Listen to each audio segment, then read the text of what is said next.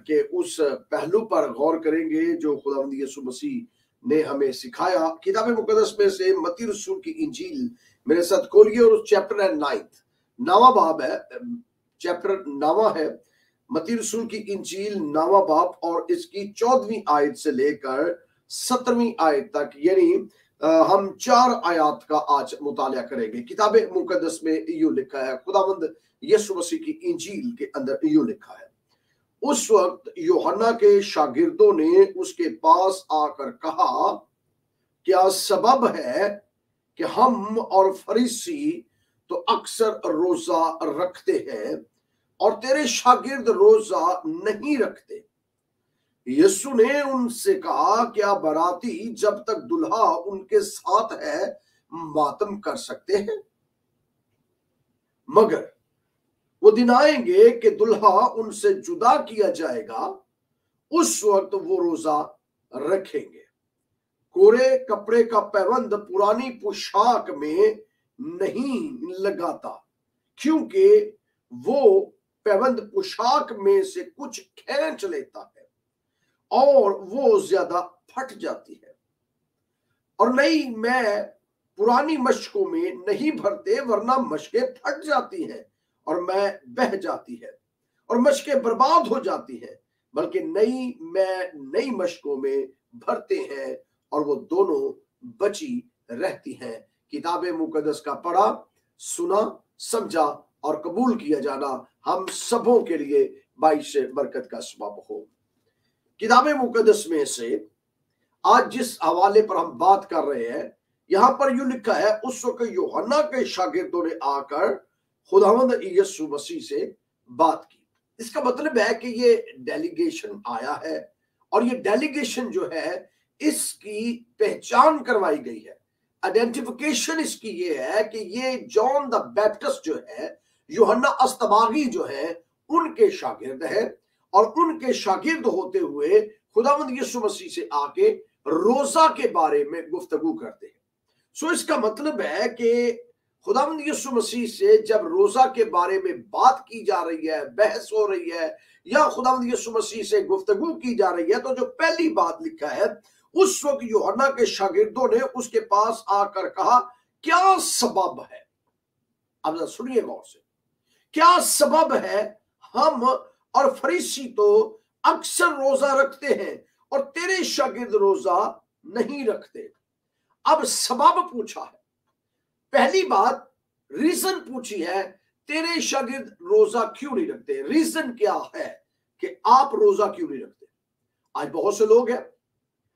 Honestly मेरे एक question का आपने जवाब देना। ऑनेस्टली बिल्कुल ऑनेस्टली बिल्कुल ईमानदारी के साथ आप चर्च ऑफ़ पेंटिकोस के अंदर बैठे हैं।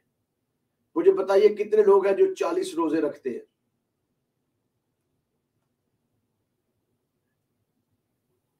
अगर आपसे अगर आपसे आगे कोई पूछे, भैया, आप रोज़े नहीं रखते, आप क्रिश्चियन हो?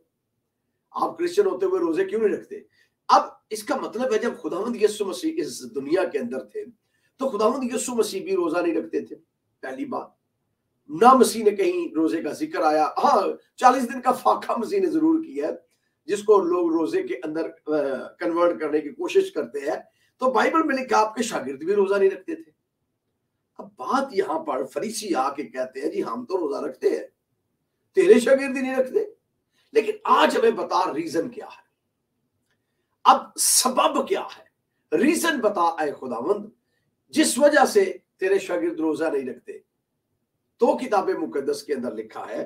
खुदावंद यीशु मसीह ने उन्हें रीजन बताया। अब इससे पहले मैं उस रीजन की बात बात बात बताऊँ और बात करूँ। दो चीज़ें आज रख ले। दो चीज़ें। फिर मैं आपसे अर्ज़ कर रहा हूँ, जितने मुझे लाइव देख रहे हैं वर्चुअल देख रहे हैं, और जितने मुझे इस वक्त गैलरी में बैठे हुए देख रहे हैं, आज मैं देख रहा हूँ कि डॉक्टर साहब को जगह नहीं मिली डॉक्टर साहब आज गैलरी पे चले गए हैं। डॉक्टर फरहान की बात कर रहा हूँ। फरहान साहब, हाथ हला दीजिए, पता चल जाएगा कि आज आप बड़े खूबसूरत शलवार कमीज पहन के बैठे हुए हैं। तो टाइम से इसका मतलब आज नहीं आए आप तो मतलब ये है कि खुदा, आज दो चीज़ें हैं जो आज आपने नोट करनी है।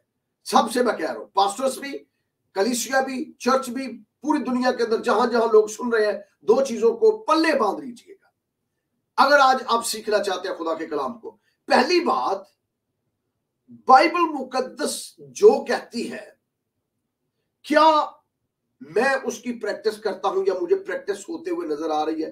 क्या वो अमल के अंदर बाइबल नज़र आ रही है? दूसरी बात, जो मैं अमल करता हूँ मेरे गौर से बात समझिएगा, जो मैं अमल करता हूँ, क्या वो बाइबल में लिखा है? जो बाइबल कहती है क्या मैं उस पर अमल करता हूँ।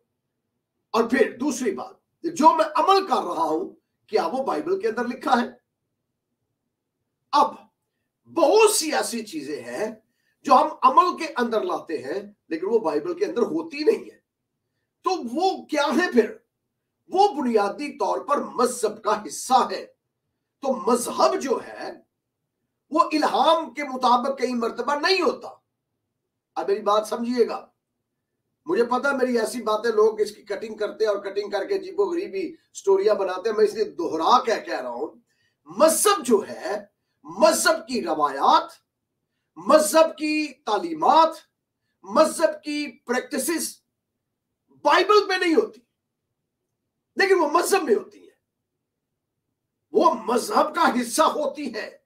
बाइबल का हिस्सा नहीं होती। मिसाल के तौर पर फिर बता रहा हूँ और इसे सादा करके, कई चीज़ें ऐसी हैं जो दीन मसीहत के अंदर है, जिसको मसीही दीन के अंदर, अमल के अंदर लाया जाता है, लेकिन उसका ताल्लुक बाइबल मुकद्दस के साथ दूर दूर तक नहीं होता।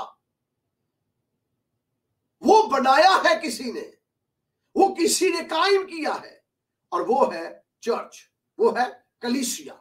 और कलिसिया कौन सी? हमारी कौंसले, हमारे हमारे अदारे, हमारे हमारे डिफरेंट चर्चेस जिन्होंने वो चीज़ें बनाई है और हम उनकी प्रैक्टिस करते हैं। इसी तरह जो चालीस रोज़े हैं, चालीस रोज़े मज़हब का हिस्सा है, बाइबल का नहीं। मेरी बात समझिएगा।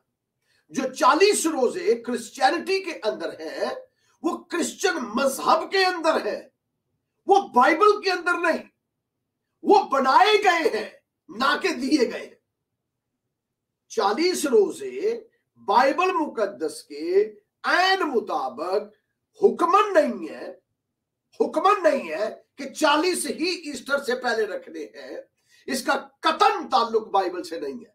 अगर कोई जोड़ता है तो जोड़ता रहे। वो वो उसकी खाम ख्याली है, वो जोड़ सकता है, वो किसी ना किसी तरीके से इसको इसको ढाल सकता है, उसका कोई ताल्लुक नहीं है। लेकिन फिर वो मज़हब का हिस्सा है और हम साल हर साल से, सदियों से उसकी प्रैक्टिस करते हैं। और कौंसल ऑफ़ निकाया या नसाया की कौंसल ने जब चालीस रोजों का ज़िक्र किया तो चालीस रोज़े रखे, रखवाने का ज़िक्र किया तो ये उस वक्त उन लोगों के लिए रखे जाते थे, वो लोग रोजा रखते थे, चालीस रोज़े वो रखते थे, जो मसीहत के अंदर आ रहे थे, यानी क्रिश्चियनिटी को कबूल कर रहे थे। और वो कबूल करने से पहले चालीस दिन रोज़े के अंदर ठहरते और उन दिनों के अंदर तोबा करते, उन दिनों के अंदर वो अपने आप को पहचानते और फिर चालीसवें दिन के बाद जब रोज़े खत्म हो जाते तो ईस्टर आता तो ईस्टर वाले दिन वो बपतिस्मा लेते और यूँ वो क्रिश्चियनिटी का हिस्सा बन जाते। फिर यह सिलसिला छठी सदी के अंदर जाकर चर्च ने बाकायदा तौर पर कहा कि ग्लोबली अब इसको प्रैक्टिस की जाए चालीस रोज़े। और ये छियालीस दिन पहले ईस्टर से छियालीस दिन पहले यह सिलसिला शुरू कर दिया जाता है, क्योंकि इतवार के रोज़े नहीं रखे जाते। तो ये इस तरह सिलसिला शुरू हुआ।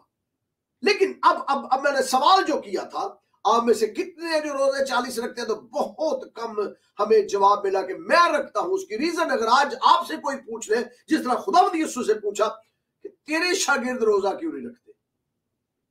अब इसका यह मतलब नहीं है कि रोज़े की तालीम बाइबल में नहीं है। इसको गलत ना लीजिएगा।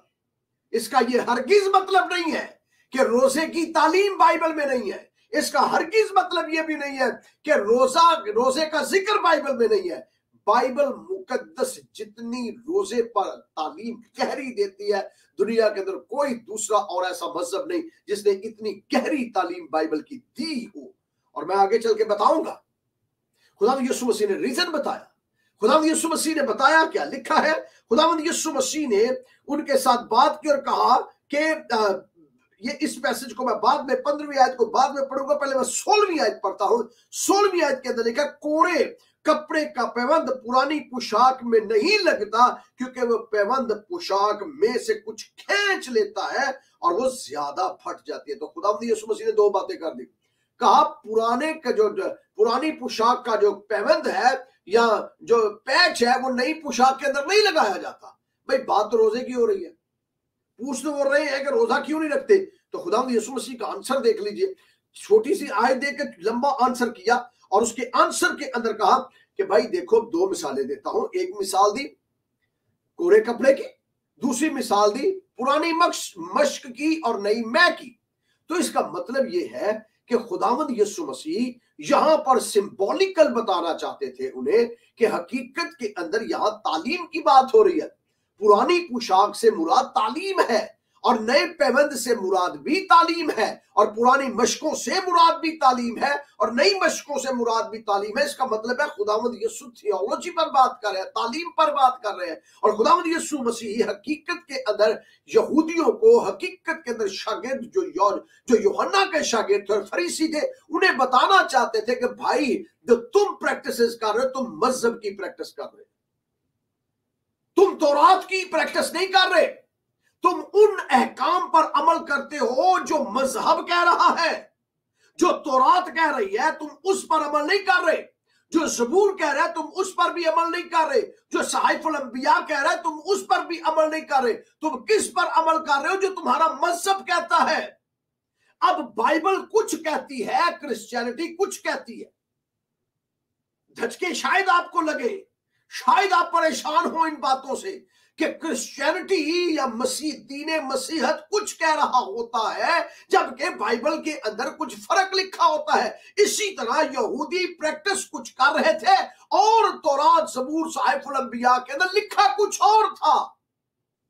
और तोरात सबूर साहिफुल अंबिया के अंदर तो खुदा ने किसी को रोज़े का हुक्म ही नहीं, किसी नबी पैगंबर को दिया कि नबी रोजा रखे, पैगंबर रोजा रखे, रसूल रोजा रखे मुकदसीन रोजा रखे। किसी को खुदा ने हुक्म नहीं दिया।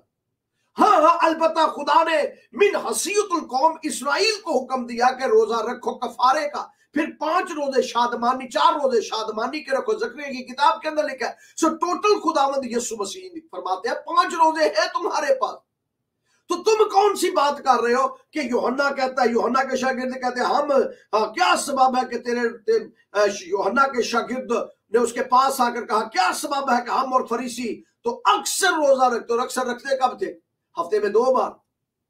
अक्सर का मतलब है हफ़्ते में दो बार ये रोजा रखते थे। और ये तो अपनी रियासत के लिए रखते थे ना कि हमारा कम हमारी कुर्बत खुदा से हो हमारी नजदीकी खुदा से हो तोबा हम कर सके हम खुदा के हजूर अपनी गिरिया सारी कर सके तो वो इसलिए आकर मसीह को कहता है खुदामंद ने कहा अच्छा फिर मैं तुम्हें बताता हूँ मेरे शागिर्द उतनी देर तक रोजा नहीं रखेंगे, जब तक दुल्हा बरातियों के साथ दुल्हा अपने आप को कहा खुदा यीशु मसीह ने दुल्हा अपने आप को कहा, बराती कह दिया अपने शागिर्दों को। तो कहा, जब इनके साथ मैं मौजूद हूँ, क्यों भूखे रहे, क्यों रोजा रखे? तो फिर इसका ये मतलब नहीं है कि आपने बताया कि रोजा रखना ही नहीं है। नहीं, ये हरगिज मतलब नहीं है। और ना ही क्रिश्चियनिटी के अंदर ऐसा है। क्रिश्चियनिटी एक ऐसा खूबसूरत निज़ाम हयात है, या मैं यूँ कहूँगा कि क्रिश्चियनिटी और बाइबल मुकदस मैं इसको और सादा करूँगा।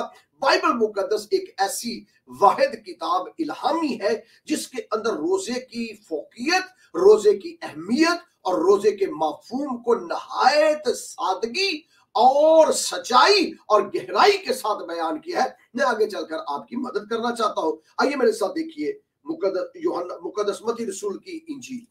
मुकदसमती रसूल की इंजील और उसका दूसरा बाब छठा बाप सॉरी मुकदसमती रसूल की इंजील और उसका छठा बाप किताब मुकदस में यू लिखा है।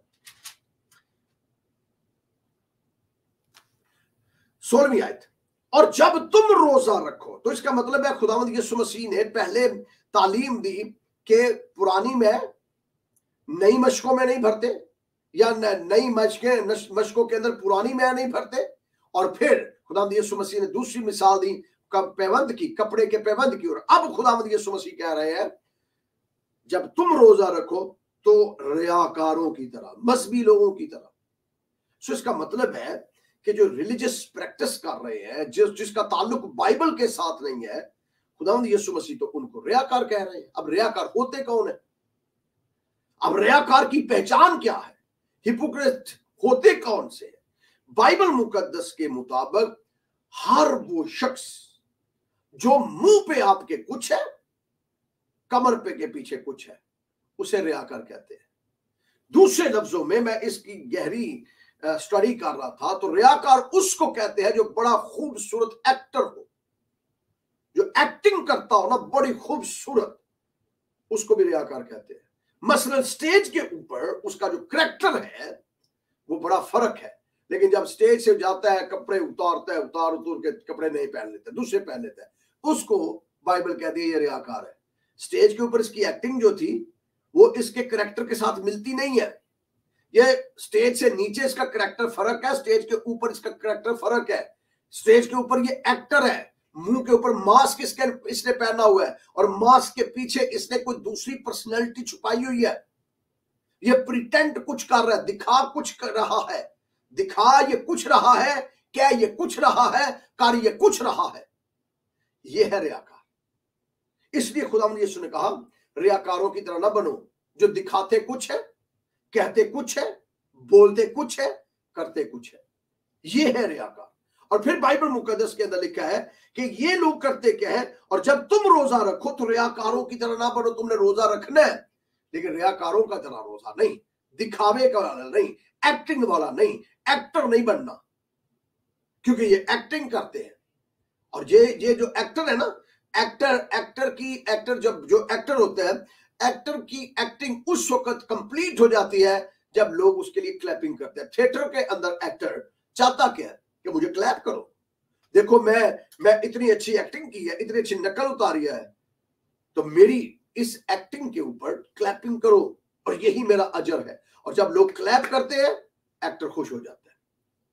खुदावंद यीशु ने कहा, ये लोग अपना अजर पा चुके जो इस तरह के एक्टर रोजेदार है ना एक्टिंग वाले रोज़े रखने वाले एक्टिंग वाले, बोलने वाले, ये अपना अजर पा चुके अब जब तुमने रोजा रखना है, जब बराती दुल्हा से जुदा किया जाएगा ना, जब बुराती दुल्हा से जुदा किया जाएगा, तब वो रोजा रखेंगे। अब जब तुमने रोजा रखना है तो तुम्हारा रोजा होना कैसा चाहिए? आखिरी आयत इसकी मैं पढ़ने लगा अठारहवीं आयत। लिखा है कि तुमने एक्टिंग नहीं करनी, तुमने नेचुरल रहना है। तुमने रोज़े के अंदर नेचुरल रहना है। और ये रोजा जो तुम्हारा होगा, ये किसी को दिखाने के लिए नहीं किसी को इंप्रेस करने के लिए नहीं, किसी के ऊपर रूहानी प्रेशर डालने के लिए नहीं, किसी को अपनी, अपने मज़हब बताने के लिए नहीं, किसी को अपने मजहबी, मज़हब के बारे में ये नहीं बताना कि देखो मेरे मज़हब के अंदर ये है, बल्कि जब तुमने रोजा रखना है तो खुदा के साथ तुम्हारा रिलेशन कैसा होना चाहिए? अठारहवीं आयत के अंदर लिखा है, बल्कि जब सतारवें जब, बल्कि जब तू रोजा रखे तो अपने सर में तेल डाल और मुँह धो, ताकि आदमी नहीं तवज्जो फरमाइए ताकि आदमी नहीं, बल्कि तेरा बाप जो पोशीदगी में है, तुझे रोजादार जाने। तेरा बाप जो पोशीदगी में है, तुझे जाने। इसका मतलब यह है कि खुदावंद यीशु ने कहा, जब दुल्हा बरातियों से जुदा होगा, तब वो रोजा रखेंगे। वो मजहबी रिचुअल चीज़ों को दिखाने के लिए नहीं, या मज़हब का इंपैक्ट या मज़हब का प्रेशर डालने के लिए नहीं। बल्कि वो मेरी कुर्बत के लिए रोजा रखेंगे। देखिए, यहाँ पर लिखा है, ताकि तेरा बाप तुझे जाने। जाने का मतलब होता है, इसका बहुत, इसको इसको और कहते हैं इंटरमेसी करना। किसी की कुर्बत के अंदर आ जाना और इतना करीब हो जाना, इतना करीब हो जाना कि उसके अंदर थर्ड पर्सनैलिटी का ताल्लुक ना रहे। इतना करीब हो जाना। और ये ये जो कुर्बत है ना, जानने की, ये सिर्फ़ मियाँ बीवी की कुर्बत होती है। और ये वो कुर्बत है जिसमें दोनों मियाँ बीवी एक तन होते हैं। और तीसरा बंदा उसको नहीं जानता। उनके जो जिस्मानी ताल्लुकात होते हैं ना वो शीदगी के अंदर उसके अंदर थर्ड पर्सनैलिटी नहीं आती। और आप देखिए मुकदसा मरियम से जब फरिश्ता जबराइल आया तो मुकदसा मरियम उसे कहता है, तेरे बेटा होगा। मुकदसा मरियम कहते हैं, मैं तो किसी मर्द को जानती नहीं हूँ। इसका मतलब है, मेरा तो ताल्लुक ही नहीं है भाई। जिस्मानी ताल्लुक मेरा किसी मर्द से नहीं है। और यहाँ पर लिखा है, तेरा बाप तुझे जाने। इतना करीब हो जाए, खुदा के तू इतना करीब हो जाए कि तीसरी पर्सनैलिटी उसमें ना आए। और बाइबल मुकदस में लिखा है, और जब तू दुआ करे तो फरमाइए, जब तू दुआ करे तो अपनी कोठरी में जा, अपना दरवाज़ा बंद कर, ताकि तेरा बाप जो पोशीदगी में है, वो तुझे जाने। वहाँ, तू उसके सामने, वहाँ पोशीदगी में कोठरी को बंद कर पीछे जाके दुआ कर ताकि तू और तेरा बाप एक हो जाए। ये है क्रिश्चियन रोजा क्रिश्चियन रोजा जो है ना, मसीही रोजा मसीही रोज़े का मतलब है कि ऐसा दिन जिसके अंदर खुदा और इंसान दोनों एक हो जाए। यूँ। अब ये मुश्किल है। मैं तो नापाक हूँ। खुदा तो पाक है। मैं तो लासानी, लाफानी हूँ। मैं तो सॉरी मैं तो फानी हूँ। खुदा लाफानी है। मैं तो मिटने वाला हूँ। खुदा अनमिट है। मैं तो खत्म हो जाऊँगा। थोड़ी सी मेरी उम्र है। लेकिन खुदा तो ऐसा नहीं। अब खुदा और बंदे को कैसे ऐसे इकट्ठा करोगे? एक जगह पर। कुर्बत इतनी। अब खुदा यसु मसीह ने एक दुआ की। मैंने आपकी तवज्जो लगाना चाहता हूँ। खुदा यसु मसीह ने एक दुआ की। खुदा यसु मसीह ने कहा ए बाप, तू मुझमें है। खुदा यसु मसीह ने कहा योहना रसूल की इंजील सत्रहवें बाप से बता रहा हूँ। सेवनटीन चैप्टर उसका। खुदा यसु ने कहा ए बाप, तू मुझमें है। और मैं तुझ में हूँ। तू मुझमें है और मैं तुझ में हूँ। तवज्जो फरमाइए। और योहना रसूल की इंजील चौदहवें बाप के अंदर, मैं बाप में से निकला और दुनिया में आया हूँ। और जिसने मुझे देखा, उसने बाप को देखा, क्योंकि मैं और बाप एक है। मैं और बाप एक है। और खुदावंद यीशु दुआ करता है ए बाप, मैं तुझ से दुआ करता हूँ, तू मुझमें है, मैं तुझ में हूँ, और मैं मिन्नत करता हूँ, ये हम में हूँ। ये हम में हूँ। यानी ऐसा रिलेशन कि थर्ड पर्सनैलिटी इसके अंदर ना आए। ये है क्रिश्चियन रोज़े का माफूम जिसके अंदर थर्ड पर्सनैलिटी ना आए। इतनी कुर्बत खुदा के साथ हो जाए, इतनी नजदीकी खुदा के साथ हो जाए, इतनी इतनी इंटमेसी खुदा के साथ आपकी हो, इतनी इतनी आप फेलोशिप के अंदर चले जाए कि तीसरे बंदे को पता भी ना चले। और अगर कोई अपना रूहानी इंपैक्ट अगर कोई अपना रूहानी प्रेशर डालता है आपने अक्सर सुना होगा अक्सर सुना होगा। है का शुक्र है मैं तो रोज़े में हूँ। खसमा रुखाने उथे मुक जाता ही। मसीही रोजा उधर तो ही खत्म। जिस दिन आपने कह दिया स्टेज के ऊपर आपने सुना होगा ओ जी मैं तो मैं, मैं पिछले दिनों में किसी से बात कर रहा था और डॉक्टर साहब मैं तो बस पंद्रह पंद्रह घंटे दुआ में बैठा रहता तो बैठा रहा तेन छेड़े मैं बैठा ना रहा। ਤੇ ਮੇਰੇ ਤੇ ਪ੍ਰੈਸ਼ਰ ਕਾ ਤੋਂ ਪਾਣੇ 15 ਘੰਟਿਆਂ ਦਾ ਝੂਠ ਦੀ ਤੂੰ ਬੋਲਣ ਨਹੀਂ ਡਿਆ ਪਰ ਚੱਜ ਨਾਲ ਦੀ ਬੋਲ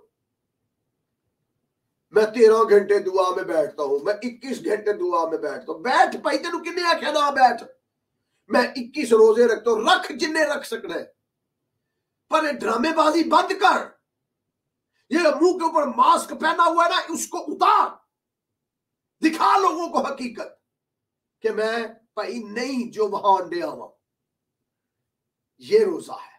क्रिश्चियन रोजा ये है कि जो मास्क पहना हुआ ना ऊपर दिखावे का।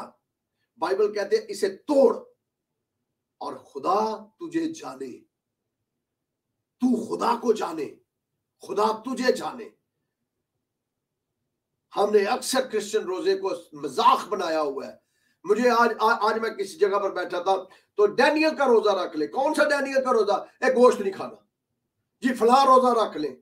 जी उसमें आपने पानी पीना है सिर्फ़ और जूसेस ले लेने हैं। ये रोजा है? अभी खेडा खेडन रहे हो। ये क्रिश्चियन रोजा नहीं है। ये दो नंबरी नकाब है हमारा। जी, मैंने मैंने गोश्त नहीं खाना, मैंने फला नहीं करना, मैंने फला नहीं करना। दिखा किसको रहे हो? हिपोक्रेटी हिपोक्रेसी कर किसके सामने रहे? खुदा कलाम करता है। मैं रखू, मेरे शगिर्द रखेंगे। रखेंगे रोजा ये। लेकिन कैसा रोजा रखेंगे? ऐसा रोजा रखेंगे कि इनका बाप इन्हें जानेगा। एक हो जाएँगे, एक तन। जहाँ खुदा और इंसान एक होता है, ये है रोजा। ये रोजा नहीं है कि आप स्टेज के ऊपर खड़े हो गए आपने अपनी भैन भी दसिया भरा भी दसिया अज मेरा रोजा है अज मेरा रोजा है अज मेरा रोजा है। चर्च के भी शोर पाया, पूरा ला ला ला ला ला पाई हुई मेरा रोजा मेरा रोजा मेरा रोजा। एक्टर थी बड़े चंगे हो तुसी very good acting very good acting तालियाँ very good acting very good acting hypocrisy और प्रिटेंड कर रहे हो कुछ जब खुदा जानता है ना किसी को फिर जिंदगियाँ बदलती है और यकीन जानो जिस बंदे ने सही रोजा रखा है ना सही रोजा जिसे रोजा कहते हैं उसका चेहरा ही बदल जाता है उसकी ज़ुबान बदल जाती है उसका सुनने का अंदाज, बोलने का अंदाज, और यहाँ तक जब वो बोलता है ना फिर तो आपको पता चलता है कि खुदा की कुदरत इसके साथ काम करे क्योंकि जैसे मूसा खुदा के साथ एक था ना, जिसको आप कहते हो कि वो चालीस रोज़े उसने रखे हैं तो जब वो नीचे आया था ना, चालीस रोज़े रख के जिसको आप रोजा कहते हो, वो खुदा की कुर्बत के अंदर था उस कुर्बत के तेरा बाप तुझे जा रहे। तो जनाब मूसा का चेहरा इतना जलाली हो गया था कि जैसे वो नीचे आया, हारून और बाकी लोग कहते हैं, अपने मुँह के ऊपर नकाब डाल दे, क्योंकि जो कोई तेरे मुँह को देखेगा, मर जाएगा। खुदा का जलाल तेरे ऊपर ठहर चुका है। और जब आप ऐसा रोजा रखते हैं तो खुदा का जलाल आपको छू लेता है। खुदा का जलाल ठहर जाता है चेहरों के ऊपर। जिंदगियों के ऊपर खुदा का जलाल ठहर जाता है।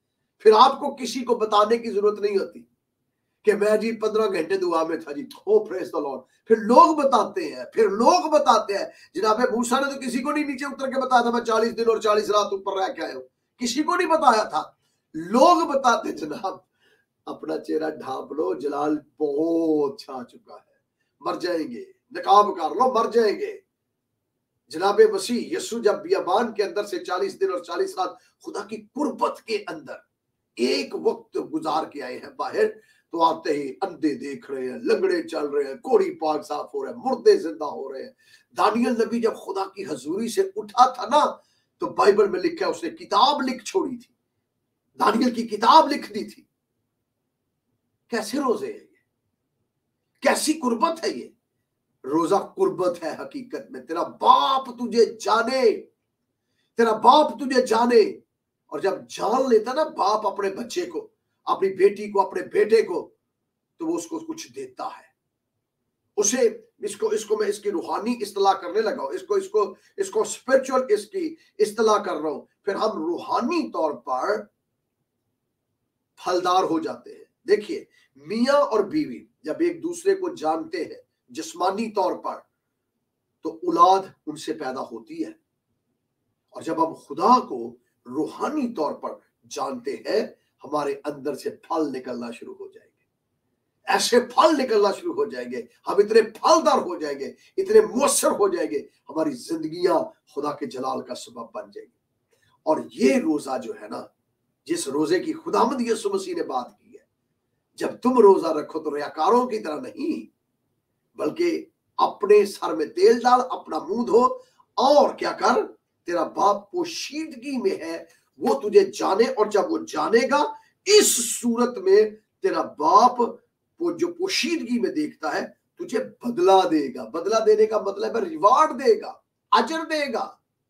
इसका इसका इसका बेनिफिट मिलेंगे और जिसके साथ, देखिए, मैंने फिर बताया, जनाब मूसा खुदामंद खुदा के पास गए हैं तो चेहरा जलाली हो गया है।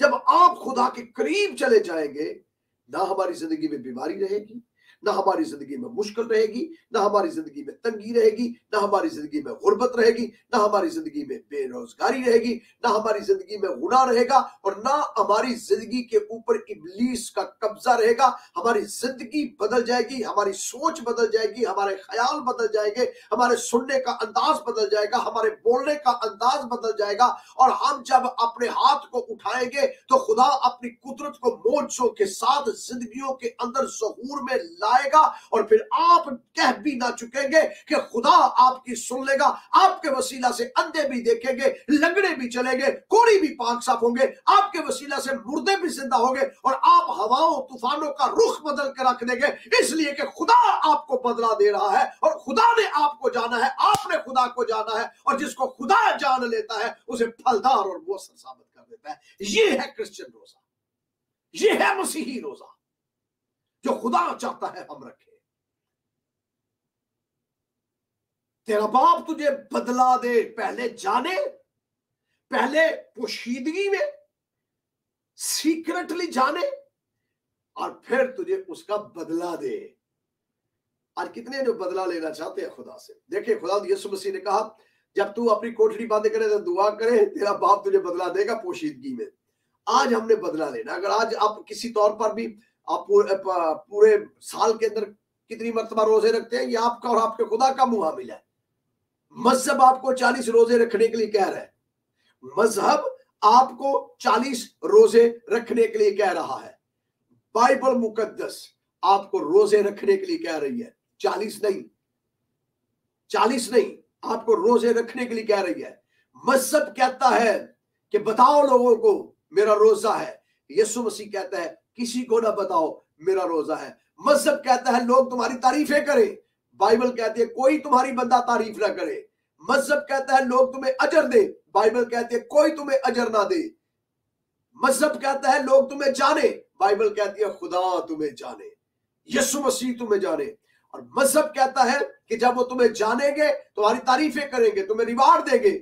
बाइबल कहती है, जब खुदा तुझे जानेगा तो तुझे बदला देगा। तुझे रूहानी बरकतें भी मिलेगी, तुझे जिस्मानी बरकतें भी मिलेगी। जब खुदा जानता है ना किसी को तो फिर आसमान उसके लिए खुल जाता है। याद हो, खुदावंद यीशु मसीह के बारे में आसमान से आवाज़ आई, ये मेरा प्यारा बेटा है, इससे मैं खुश हूँ। और उसी बेटे ने कहा, तू मुझमें है, मैं तुझ में हूँ, और अब जो लोग तुझ पर ईमान लाकर तेरी कुर्बत के अंदर आते हैं ना, वो हम में हूँ। यानी बाप, बेटा और रूहुल कुछ तवज्जो फरमाइए। बाप, बेटा और रूहुल कुछ हम में हो रोज़े के दौरान और हम बाप, बेटे और रूहुल कुदस में हो।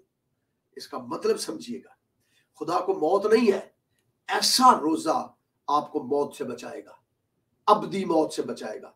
ऐसा रोजा आपको अबदी ज़िंदगी लेकर देगा, ऐसा रोजा आपको आसमान की बादशाहत लेकर देगा, ऐसा रोजा आप यस्सु मसीह नासरी के कदमों में बैठेंगे। जिस तरह मरियम बैठती थी और मेरे आका ने कहा, इसने अपना अच्छा हिस्सा चुन लिया। मेरी कुर्बत के अंदर है, मेरी नजदीकी के अंदर है। ऐसा रोजा, जिस तरह योहन्ना योहन्ना बपतिस्मा देने वाले के बाद योहन्ना शागिर्द जो है, जिसको खुदा यीशु मसीह कहता है, ये मेरी कुर्बत के अंदर रहता है, ये मेरी मेरा बिलावट है, मेरी नजदीकी के अंदर रहता है। तो खुदा ने उस पर मुकाशफात खोल दिए और उसने मुकाशफा की किताब लिख दी। रोजा आपको ऐसी बरकत देता है, ऐसी ब्लेसिंग देता है, ऐसी कुदरत दे देता है कि आप अपने हाथों को इस्तेमाल करेंगे ना तो खुदा आपके पीछे खड़ा होकर आपको अपने जलाल का सबब बनाएगा। फिर याद कर सकते हैं कि मूसा से कहा, जो तेरे हाथ में मार लाठी।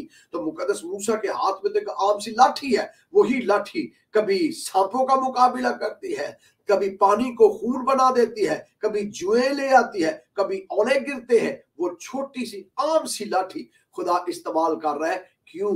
क्योंकि वो खुदा की कुर्बत के अंदर है। फिर आपकी मामूली सी मामूली चीज़ भी लोगों के लिए मुआवजे का सबब बन जाएगी और सिर्फ़ मुआवजा नहीं, बल्कि हैरानी और परेशानी का सबब बन जाएगी और आपके लिए वो शादमानी का सबब बन जाएगी, क्योंकि खुदा आपकी मामूली चीज़ों को अपने जलाल के लिए इस्तेमाल करेगा और आपकी मामूली चीज़ें गैर मामूली चीज़ें हो जाएगी। इसलिए कि खुदा की कुर्बत आपके साथ है और जिसके ऊपर खुदा का हाथ हो उसको दौलत भी मिलेगी, इज़्ज़त भी मिलेगी, उम्र की दराजी भी और शौरत भी। आइए दुआ करें, आइए दुआ करें, अपने आप को झुकाए। सारे अपने, अपनी जगह पर खड़े हुए। इस दुआ के दौरान अगर खुदा आपके दिल में, अगर किसी की गुआही कोई है, अगर किसी के ज़िंदगी के अंदर किसी किस्म की गुआही हो तो पास्टर वकील साहब यहाँ मौजूद है। अब दुआ के दौरान इन्हें दिन से बात कर सकते हैं। आइए दुआ करना शुरू कर। मैं यूसुफ से गुजारिश करूँगा क्वायर से अपनी जगह पर आज हम दोनों हाथ उठाएँगे।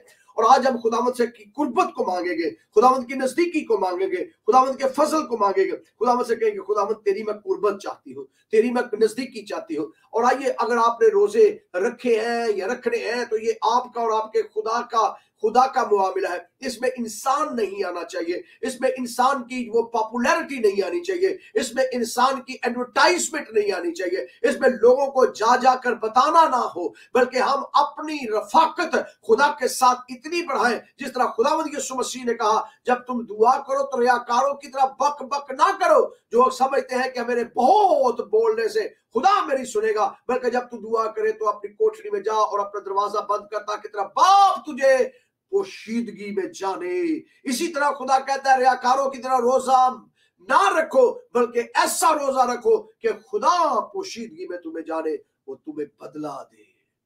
इतनी कुर्बत के अंदर आ जाए, इतनी नजदीकी के अंदर आ जाए कि खुदा आप में हो और आप खुदा में हो।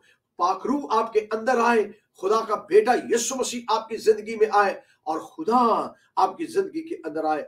ये रोजा है जो खुदा बाप आपसे चाहता है। ये रोजा है जो बेटा आपसे चाहता है। ये रोजा है जो रूहुल कुछ हमारी जिंदगियों के अंदर से चाहता है और वो ये चाहते हैं, बाप, बेटा रुल कुछ ये चाहते हैं कि मैं इंसान के साथ रहूँ और इंसान मेरे साथ रहे और हम दोनों एक हो जाए। जैसे बागे अदन के अंदर आदम और हवा खुदा के जलाल से मामूर थे। रोज़े के अंदर खुदा ऐसा हमें जलाली बनाना चाहता है। जैसे मूसा कोहे हुरब के ऊपर खुदा के जलाल से मामूर थे, खुदा ऐसा हमें जलाली बनाना चाहता है। जैसे एलिया खुदा के हजूर कोहे हुरब के ऊपर खुदा के जलाल से मामूर थे, खुदा हमें ऐसा जलाली बनाना चाहता है। जैसे दानियल 21 दिन तक खुदा के जलाल से मामूर थे, खुदा हमें ऐसा जलाली बनाना चाहता है। खुदा हमें जलाल से मुलब्बस करके, अपनी कुदरत के कलाम से संभाल के, अपने जलाल के लिए हमें इस्तेमाल करना चाहता है। लेकिन वो ये चाहता है, जब तुम रोजा रखो तो इस तरह रोजा रखो।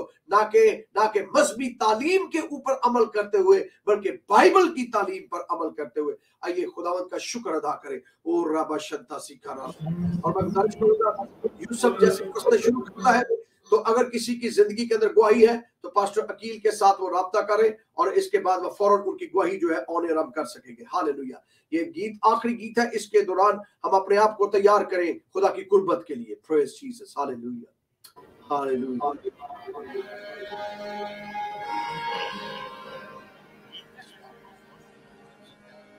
Yes, hallelujah, hallelujah.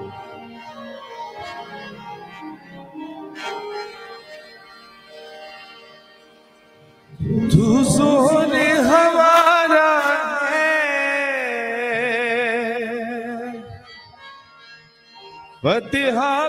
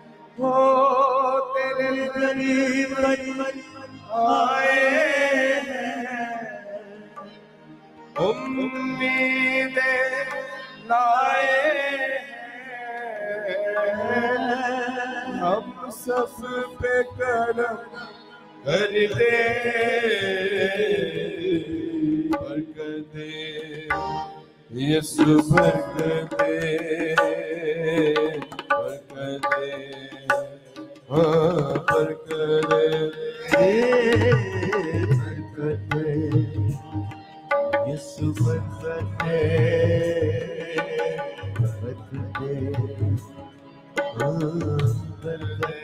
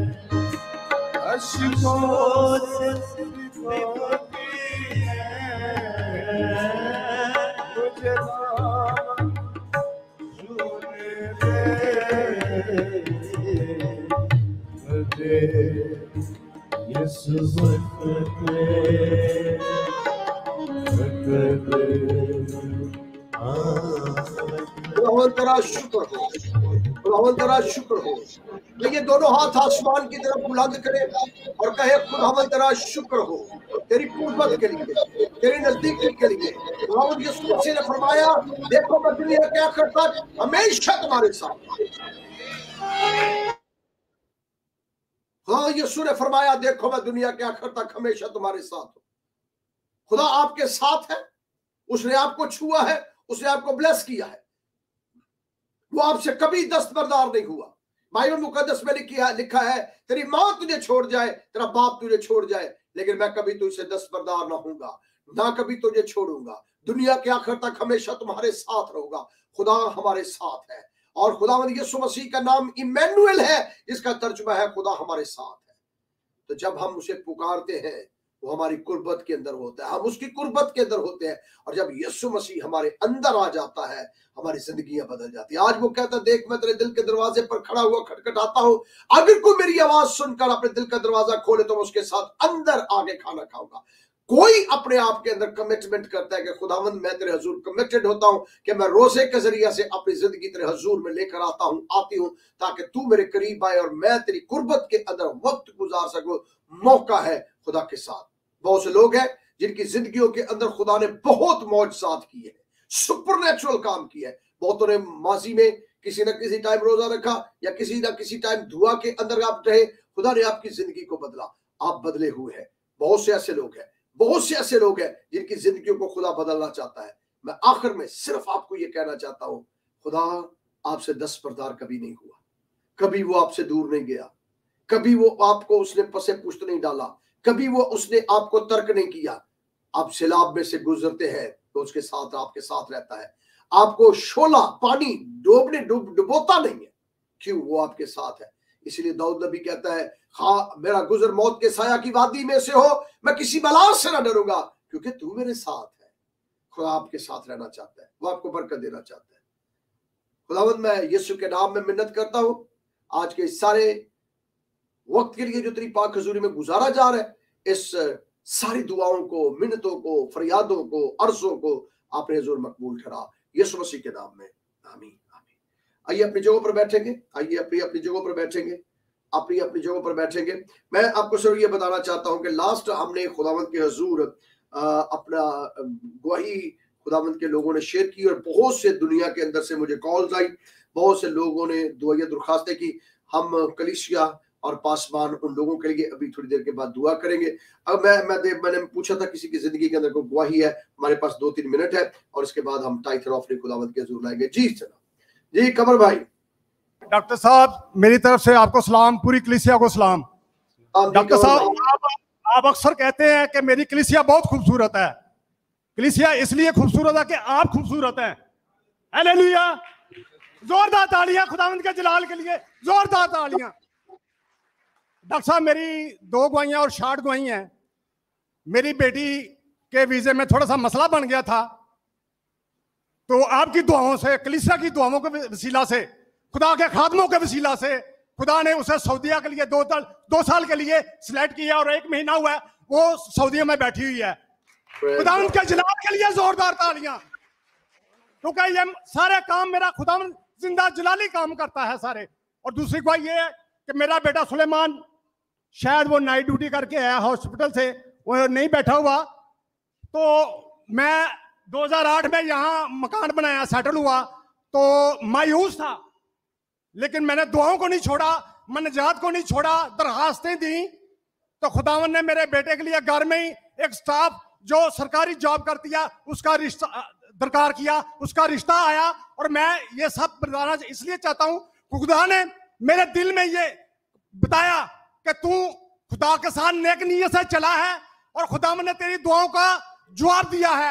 ये सारा आपका और मेरे पाचा साहबान का और पूरी कलिसिया का दुआओं का ये नतीजा है। खुदा आप सबको आपके खानदान को मेरी बेटी को बड़ी बरकत दे। आमीन। आमीन आमीन। Thank you thank you thank you very much doctor साहब मेरी तरफ़ से आप सबको सलाम। पूरी कलीसिया को सलाम। मेरा नाम नदीम सी है और मैं गार्डन टाउन से मेरी गवाही ऐसी है कि मेरी ज़िंदगी ज़मीन के नीचे दफन हो गई थी। हालातों से बदरुओं से मैं लड़ा और मुझे आपके चर्च में दो साल होते हैं आ, आते हुए। और मेरी ज़िंदगी ऐसी बदल गई है कि जो मेरी ख्वाहिश होती है मांगने से पहले पूरी हो जाती है। तो आप आप बदरूहों आप बदरूहों के चुंगल में फंसे हुए थे? हाँ जी मेरे छोटे भाई की बेटी है दस ग्यारह साल की। उसको बदरू ने जंगल में ले लिया। और पास्टर प्लूस और पास्टर यूसुफ साहब ने तीन दिनों में हमें वो शफा दुआ दी। बदरू ने इकरार किया। वो बदरू ने इकरार किया कि मैं जल गई हूँ। पास्टर यू उनके, उनके प्यारे चेहरे दिखा दे मुझे कौन से पास्टर है? प्यारे चेहरे चेहरे दिखाए पास्टर्स के। जी पादरी पलू साहब हाथा ला दो तो तो बारे गल हो रही है। तो पास्टर पलू साहब है और दूसरे पास्टर साहब कौन है? अच्छा जी आप साहब दूसरे पादरी साहब ये है। यूसुफ साहब गॉड ब्लेस यू जी खुदा आपको बरकत दे bless you ji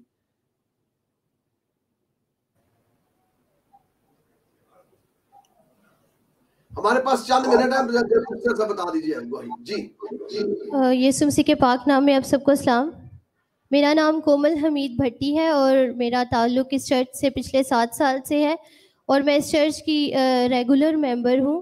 last Wednesday मेरा सडन एक्सीडेंट हुआ और मैं ड्यूटी पे जा रही थी अपने नेफ्यू के साथ। अ, पता ही नहीं चला आ, वन वे रोड थी और एकदम से ऑटो ने टर्न ले लिया हमारे आगे से ही। तो इसने अपने आप को सेव करने के लिए ना इसको समझ नहीं आई। इसने बहुत तेज़ रेस कर दी बाइक की और अ, आगे हम फुटपाथ के साथ बाइक लगी और हम गिरे बहुत ज़्यादा बुरे थे। ये पीछे गिरा और मैं काफ़ी आगे जाके गिरी। वहाँ पे लोहे की वायर्स भी थी। जिन पे कांटे लगे होते हैं। और पता नहीं कैसे मैं उनके ऊपर से दूसरी तरफ़ गिरी लेकिन जब मैं उठी तो मुझे एक खराश भी नहीं आई। खुदा का शुक्र है। नेफ्यू को भी कोई चोट नहीं लगी लेकिन हमारी बाइक इस कदर टूट गई। जब मेरा भाई रिपेयरिंग के लिए गया वहाँ पे तो उन्होंने कहा कि वो लड़के बच गए हैं जिनका एक्सीडेंट हुआ। तो मेरे भाई ने कहा कि खुदावन के फजल से उनको कुछ भी नहीं हुआ। हालेलुया, खुदा का शुक्र।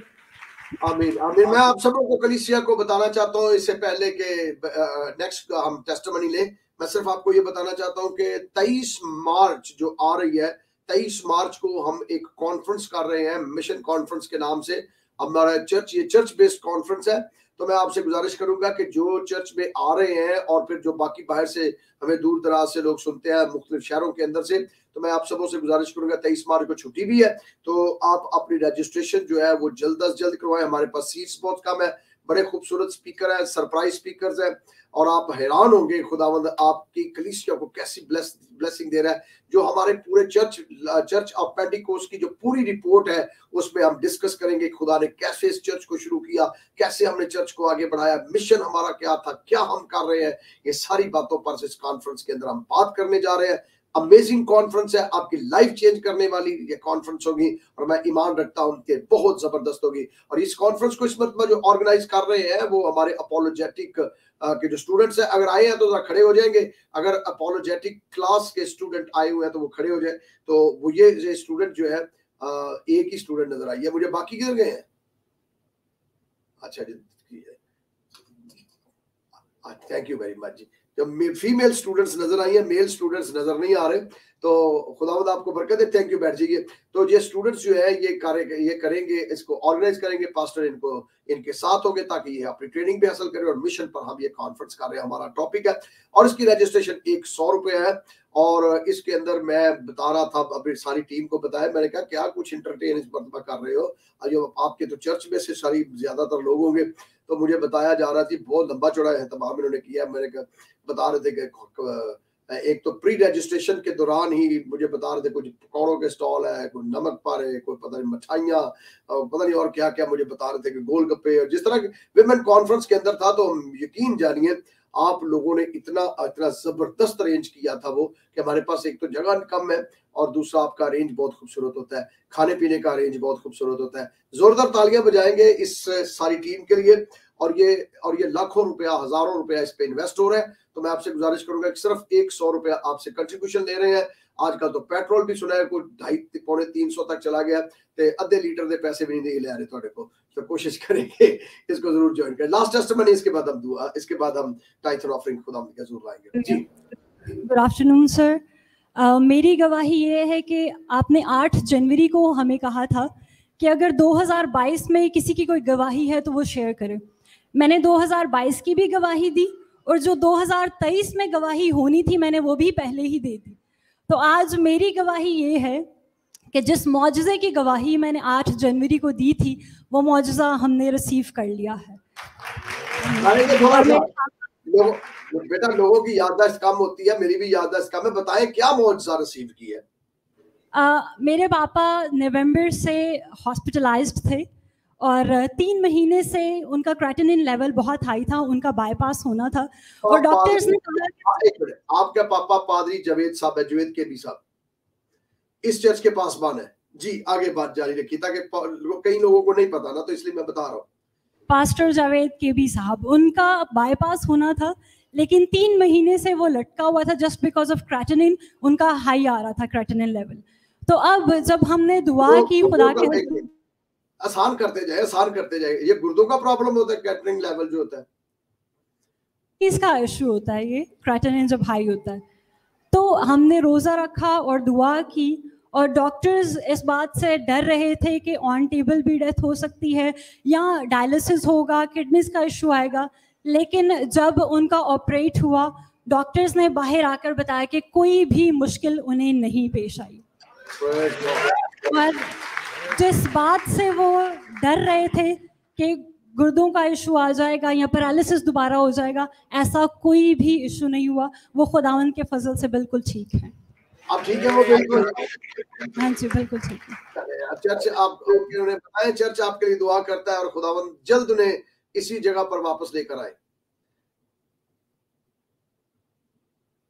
जी मेरी बहन मैं टाइम हो गया आप आगे यार हाँ मेरी गवाही ये है कि मैं अपनी बेटी की गवाही देना चाहती हूँ कि जब ये पैदा होने वाली थी ना तो मुझे सबने कहा कि ऑपरेशन होगा। तो मेरे हस्बैंड ने पाई साहब को फ़ोन किया तो उन्होंने कहा कि पाई साहब, ऐसा ऐसा मेरी बीवी के साथ है। तो जब आपने कहा कि आपकी बुआ जी दुआ करती रोज़ मैरी तो उन्होंने मुझे कहा कि आप क्या चाहती हैं? तो मैंने कहा पाई बुआ जी, मैं चाहती हूँ कि खुदावन मुझे नॉर्मल बेटी दे। जब मैं तैयारी करके फिर चलेगी तो उन्होंने कहा कि आप दुआ पहले करवा लें फिर आप जाना। जब मैंने दुआ करवाई तो खुदावन का शुक्र है बीस से पच्चीस के मिनट के बाद खुदावन ने मुझे ज़िंदगी वाली बेटी नॉर्मल दी है। आपको आपकी बेटी को। जी। और खुदावन का शुक्र है कि मेरे हस्बैंड जब काम कर रहे थे ना तो 22 20 से मतलब 20 बाईस हज़ार रुपया ले रहे थे। जब का आपने कहा ना कि अपना बिज़नेस चलाएँ तो खुदावन का शुक्र है वो अब अच्छा कभी साठ हज़ार लेते हैं कभी सत्तर हज़ार कभी लाख से भी ऊपर चले जाते हैं। मेरी बहुत बड़ी गवाही है। जब से आपसे आपके साथ हम टैच हुए ना खुदावन ने हमें इतनी बरकतें दे दी इतनी दे दी कि हम आपको बता नहीं सकते। यही मेरा फखर है कि मैं बड़े फखर से कहता हूँ कि हमारा चर्च जो है बड़ा बाबरकत चर्च है। यही वजह है, यही वजह के चर्च के अंदर बरकत है। थैंक यू वेरी मच जी। गॉड ब्लेस यू बेटा। आप तमाम मसीह बहन भाइयों को मेरी तरफ़ से इस्लाम और पासर साहब को भी मेरी तरफ़ से इस्लाम। मेरा नाम एंथनी जेम्स है और मैं मरियम निशात कॉलोनी में रहता हूँ और तकरीबन कोई चार से पाँच साल से मैं इस चर्च के साथ मेरा ताल्लुक है।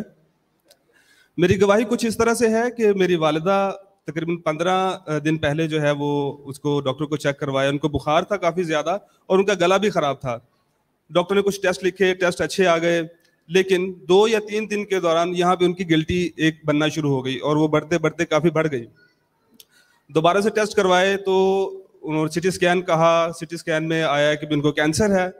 तो हम बहुत परेशान हुए। मेरा पूरा घराना जो है, वो बहुत मतलब तकलीफ़ में से गुजरा।